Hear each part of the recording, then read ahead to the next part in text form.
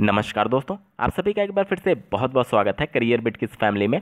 दोस्तों, आज दिनांक 18 दिसंबर 2018 को यूपी टेट 2018 मामले में सुनवाई होनी थी। क्या कुछ हुआ है आज पूरे कोर्ट में? पूरा डिटेल में इस वीडियो में बात करूँगा। तो यदि आप भी यूपी टेट 2018 और आगामी उनहत्तर हज़ार सहायक अध्यापकों की भर्ती जैसे मुद्दों से प्रभावित हो रहे हैं तो इस वीडियो के किसी भी पार्ट को बिना स्किप किए हुए बने रहें करियर बिट के इस चैनल पर। आगे बढ़ने से पहले मैं आप लोग को याद दिला दूँ कि यदि आप करियर बिट के इस चैनल पर नए हैं तो कृपया इसको सब्सक्राइब कर लीजिए और बेल के आइकन को भी प्रेस कर दीजिएगा ताकि जब भी किसी नए अपडेट के लिए मैं वीडियो बनाऊँ तो उसका नोटिफिकेशन आपको समय से मिल सके। और अगर आपने इसे पहले से सब्सक्राइब कर रखा है तो आपका बहुत बहुत धन्यवाद। दोस्तों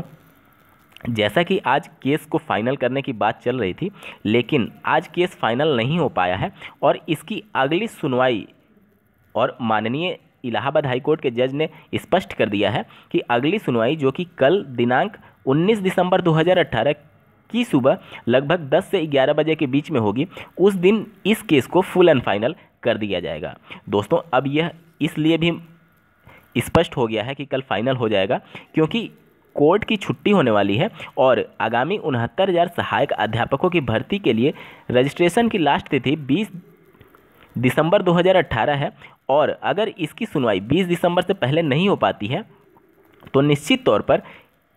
लगभग डेढ़ लाख से अधिक अभ्यर्थी ऐसे हैं जो यूपी टेट 2018 में दो या फिर तीन या फिर चार पाँच नंबर से रुक रहे हैं और अगर इस केस में कुछ भी फैसला उनके फेवर में आता है तो डेढ़ से दो लाख अभ्यर्थी ऐसे हैं जो आगामी उनहत्तर हज़ार सहायक अध्यापकों की भर्ती में फॉर्म भरने से वंचित रह जाएँगे अगर इस केस का फैसला उनके फेवर में आता है। तो दोस्तों, अब आप लोग इसके लिए पूरी तरीके से निश्चिंत हो जाइए कि कल इस केस का पूरा फाइनल डिसीज़न आ जाएगा कि क्या कुछ होना है। दोस्तों, ये तो हो गई बात कि आपका फाइनल डिसीज़न कब तक हो सकता है। अब बात कर लेते हैं कि आज दिनांक 18 दिसंबर 2018 को इस केस में क्या हुआ। तो दोस्तों, माननीय इलाहाबाद हाईकोर्ट के जज ने दोनों तरफ़ की दलीलों को सुना और जो विवादित प्रश्न थे, जिनमें एक प्रश्न के दो दो ऑप्शन पीएनपी ने अपने रिवाइज आंसर की में दिए हैं। उन विवादित प्रश्नों पर अभी कुछ भी स्पष्ट नहीं हो पाया है और निश्चित तौर पर अगर ये विवादित प्रश्नों का मसला सॉल्व नहीं होता है तो इसका फ़ायदा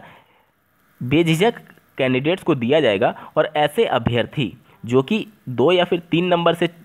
बच गए हैं यूपी टेट 2018 की परीक्षा में सफलता पाने से, उनके लिए बहुत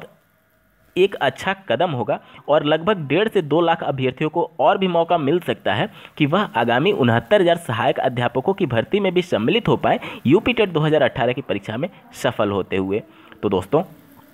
अगर इस केस का फैसला कल कैंडिडेट्स के फेवर में आता है तो निश्चित तौर पर आगामी उनहत्तर हज़ार सहायक अध्यापकों की भर्ती के लिए रजिस्ट्रेशन की डेट 20 दिसंबर से आगे बढ़ाई जा सकती है, क्योंकि आप लोगों ने देखा होगा कि सर्वर ठीक से वर्क नहीं कर पा रहा है और कैंडिडेट्स अपना फाइनल प्रिंट आउट और फॉर्म का रजिस्ट्रेशन करने जैसे और फ़ी पेमेंट जैसे समस्याओं से जूझ रहे हैं तो निश्चित तौर पर डेट का बढ़ना तय हो जाएगा अगर यूपी टेट 2018 की परीक्षा में डिसीज़न कैंडिडेट्स के फेवर में आता है। दोस्तों, आज की सुनवाई में जो केस का रुख रहा, वह सभी कैंडिडेट्स के फेवर में ही दिखा और ऐसी उम्मीदें लगाई जा रही हैं कि कल जो भी फैसला आएगा, उसमें दो से तीन नंबर से अभ्यर्थी जो पीछे रह जा रहे हैं, सफल होने में, उनके लिए एक बहुत अच्छी खबर लेकर के आएगा। तो दोस्तों करियर बिट की यह फैमिली भी उम्मीद करती है कि कैंडिडेट्स के फेवर में ही फैसला आए और डेढ़ से दो लाख और भी अभ्यर्थियों को मौका मिले कि वह आगामी उनहत्तर हज़ार सहायक अध्यापकों की भर्ती में भी सम्मिलित हो पाएँ। दोस्तों, आज के वीडियो में बस इतना ही। उम्मीद करता हूँ आप लोग को यह अपडेट पसंद आई होगी। अगर इस वीडियो में कुछ भी अच्छा लगा तो कृपया इसे लाइक कर दें और ऐसे ही महत्वपूर्ण अपडेट्स के लिए बने रहें करियर बेट के इस चैनल के साथ। धन्यवाद।